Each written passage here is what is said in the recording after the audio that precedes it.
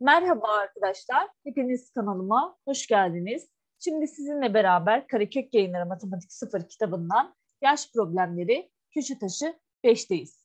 Sorumuza bakalım. Sibel ile Can'ın yaşları toplamı 50'dir. Sibel Can'ın yaşına geldiğinde ise yaşları toplamı 78 olacaktır. Buna göre Can'ın bugünkü yaşı kaçtır diye sorulmuş bize. Şöyle yapıyorum, Can diyorum. Buraya da Sibel yazıyorum. Arkadaşlar önce şimdiki yaşlarını yazalım. Yani bugünkü. Can'ın bugünkü yaşına x diyorum. X'inin yaşları toplamı 50 olduğuna göre Sibel'in yaşına 50 eksi x diyebilirim. Bir de hangi zaman var?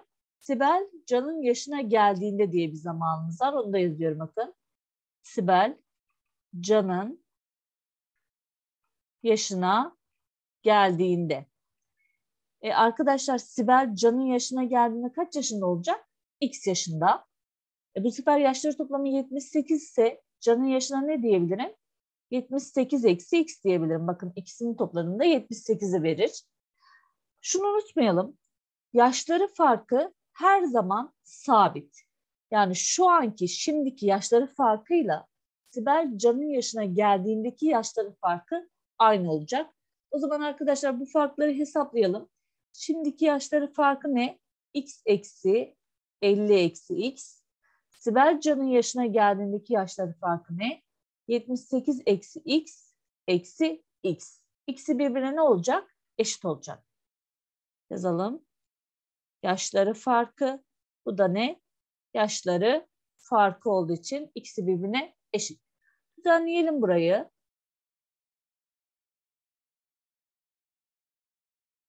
Burada 2x var.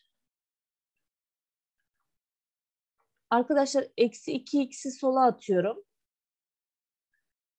Eksi 50'yi de sağa attık mı 4x eşittir 128 yapar. Her iki tarafı 4'e böldüğümüzde x'i buradan 32 olarak buluruz. Can'ın bugünkü yaşını soruyor. E, Can'ın bugünkü yaşına x dediğimiz için cevap ne çıkar? 32 olarak karşımıza çıkar. Bu tür sorularda yaşlar farkı sabittir ilkesini kullanacağız. Bunu lütfen unutmayalım. Emre ile Aydın'ın yaşları toplamı 46'dır. Emre Aydın'ın yaşındayken Aydın 32 yaşında olduğuna göre Emre'nin bugünkü yaşı kaçtır? Yazalım. Emre Aydın. Şimdiki yaşlarını yazıyorum arkadaşlar. Şimdi Aydın'ın yaşı da ben x demişim. Yaşları toplamı 46 olduğuna göre Emre'ye ne diyebilirim? 46 eksi x. İkisini topladığımızda 46'yı veriyor. Bir de hangi zamanımız var? Emre Aydın'ın yaşındayken diye yazıyorum. Emre Aydın'ın yaşındayken. Yani arkadaşlar Emre Aydın'ın yaşındayken yaşı ne olur? X olur. Aydın o zaman hangi yaştaymış? Bakın burada vermiş. 32 yaşında diye vermiş. Emre'nin bugünkü yaşı soruluyor. Yine ben yaşlar farkından yararlanacağım. Emre'nin yaşından Aydın'ın yaşını çıkardığımda şimdi daha sonra Emre Aydın'ın yaşındayken yine Emre'nin yaşından Aydın'ın yaşını çıkardığımda yaşlar farkını birbirine eşitleyeceğim. Bakın buluyorum. Şimdi diyorum Emre'nin yaşından Aydın'ın yaşını çıkarıyorum. Bu ne arkadaşlar? Yaş farkımız. Emre Aydın'ın yaşındayken zamanında yine Emre'nin yaşından Aydın'ın yaşını çıkarıyorum. Bu da yine ne? Yaş farkımız. Yaş farkı sabit olduğu için ikisini birbirine ne yapıyoruz? Eşitliyoruz. Düzenlemeyi yapıyorum. Eksi 2x'i sağa attım arkadaşlar. Burada bir de x var. Eksi 32'yi sola attım. Buradan burası 78 yaptı. 3x eşit. Her iki tarafı 3'e böldüğümüzde x buradan ne çıkar? 26 çıkar. Emre'nin bana bugünkü yaşı soruluyor. Şöyle yazalım Emre diyelim. Emre'nin bakın bugünkü yaşı ne? 46 eksi x. Yani 46 eksi 26'dan 20 olarak karşımıza ne yapıyor? Çıkıyor. Devam edelim. Bir babanın yaşı oğlunun yaşının 3 katı. Oğlu babasının yaşına geldiğinde yaşları toplamı 64 olacağına göre baba ile oğlunun yaşları farkı soruluyor bize. Yazıyorum baba, oğlu Şu an ne diyor arkadaşlar? Şunu diye buraya yazayım. Bir babanın yaşı oğlunun yaşının üç katı. Bu şekilde ifade edebilirim. Oğlu babasının yaşına geldiğinde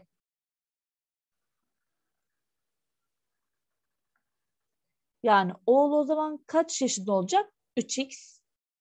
İkisinin yaşları toplamı ne olacakmış? 64. Oğlu 3, 3x yaşındaysa arkadaşlar yaşları toplamında bu zamanda 64 ise babasının yaşı ne olur? 64 eksi 3x olur. İkisini topladığımızda 64 verir. E ne yapacağız arkadaşlar biz burada? Yaşları farkı her zaman aynı olacağı için şu anki yaşları farkıyla bu oğlu babasının yaşına geldiği zamanki yaşları farkı birbirine ne olacak? Eşit olacak. Babasının yaşından oğlunun yaşını çıkarıyorum. Yaş farkını buluyorum. Yine babasının yaşından oğlunun yaşını çıkarıyorum. Yine yaş farkını bulup birbirine ne yapmam lazım? Eşitlemem lazım. Düzenliyorum burayı. Eksi 6x'i arkadaşlar sola attım. Buradan 8x eşittir 64 yaptı. Her iki tarafı 8'e böldüğümüzde x'ine bulduk? 8 bulduk. Bana baba ile oğlunun yaşları farkı soruluyor. E arkadaşlar şurası yaş farkı değil mi 2x? Yani 2x'in cevabı soruluyor. 2 kere 8'den 16 olarak buluruz. Devam ediyorum.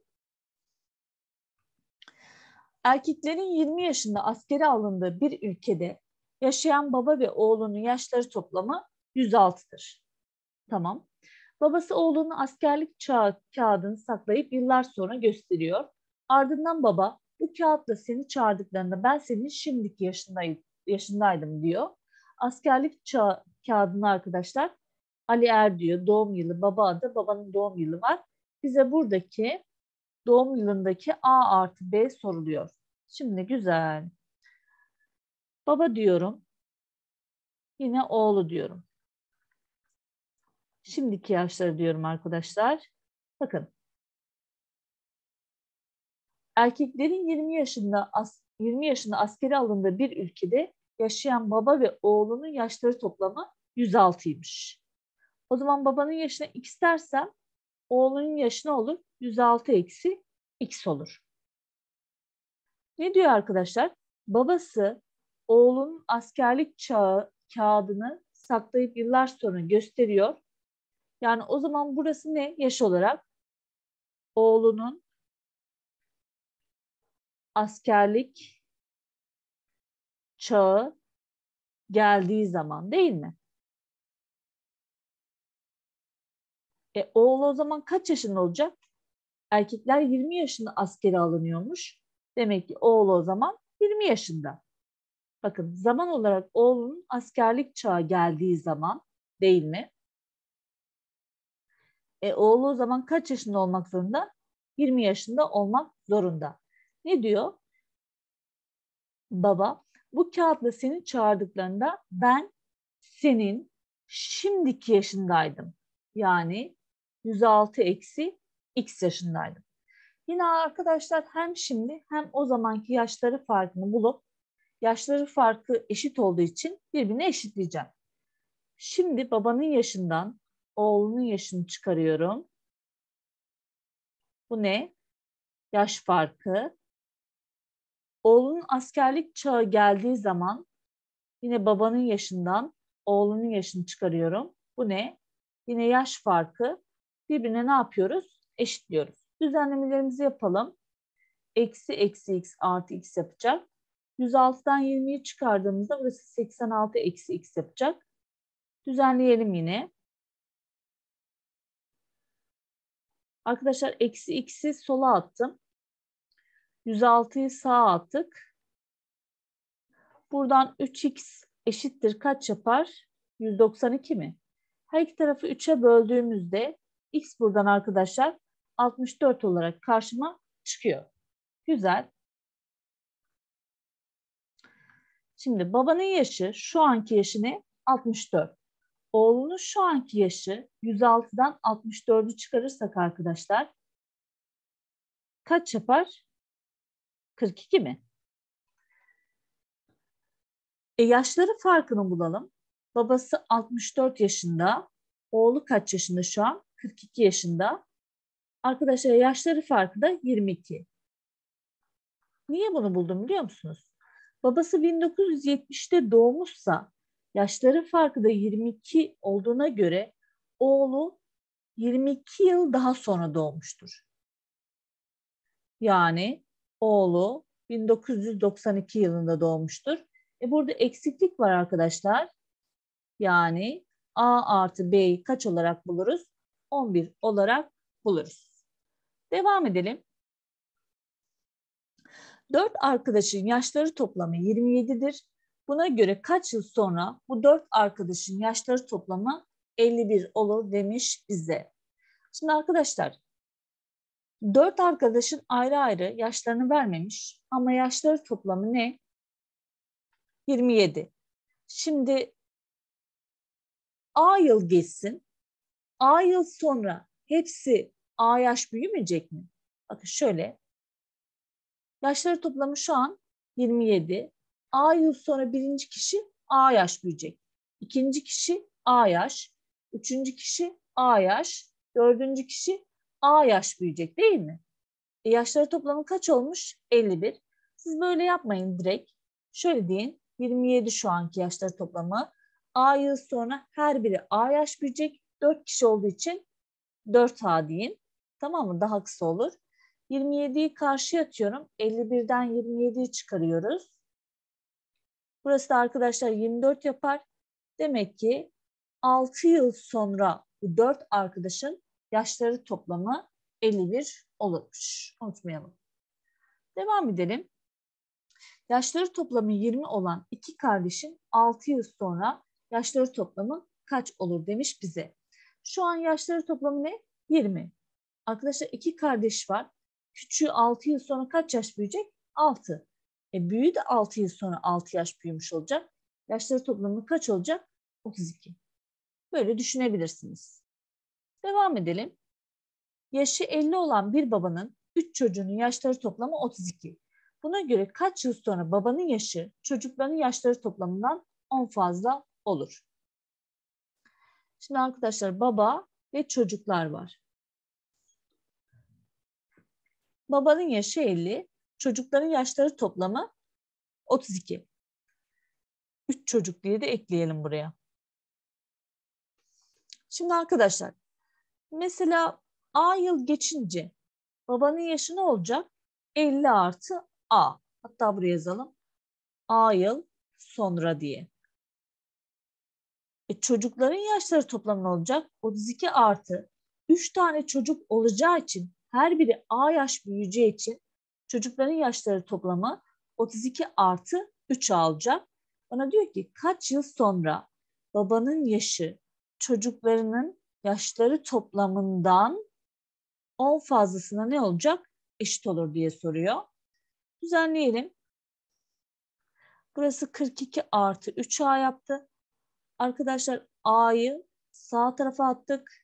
42'yi sola attık. Buradan 8 eşittir 2A demek. Şuraya da yazalım. Her iki tarafı 2'ye böldüğümüzde A'yı ne buluruz? 4 olarak buluruz.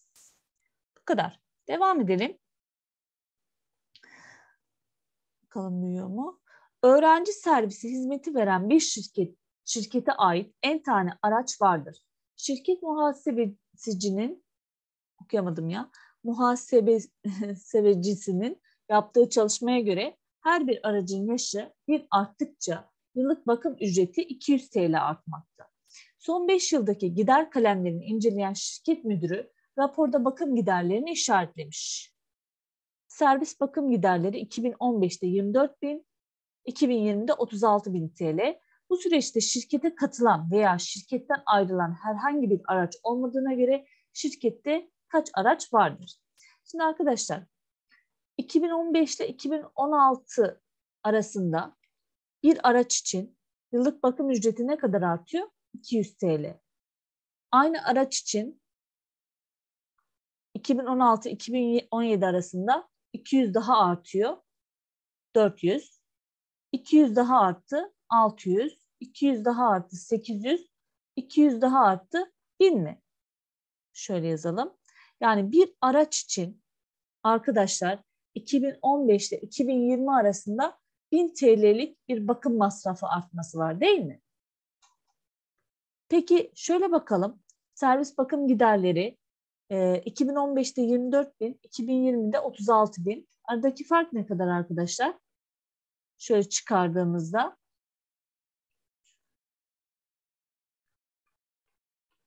12 bin değil mi? E, bir araç için 1000 TL'lik bir artma söz konusuysa en tane araç için arkadaşlar bu masraf ne kadar olmuş? 12 bin. Sıfırları hemen götürün. Bakın. Araç sayısı ne olacak? 12 olacak. Bu kadar. Kolay bir soru aslında. Gözünüz korkmasın. Bakın şurayı tekrar edeyim. Diyor ki şirket muhasebecisinin yaptığı çalışmaya göre her bir aracın yaşı bir arttıkça yıllık bakım ücreti 200 TL artıyor. Bakın burada bakım ücreti 200 artmış. Burada o zaman 400 artar. Burada 600. Burada 800. En sonunda bir araç için 1000 TL'lik bir bakım masrafı artması söz konusu değil mi? E, arkadaşlar en tane araç için ne kadar artmış? 12 bin. Bu şekilde eşitlediğimizde 12 tane araç olduğunu görüyoruz. Evet arkadaşlar beni buraya kadar dinlediğiniz için hepinize çok teşekkür ederim. Kanalıma abone olup bana destek olursanız çok mutlu olurum. Videomu yorum yaparsanız sevinirim. Herkese iyi çalışmalar diliyorum. Hoşçakalın.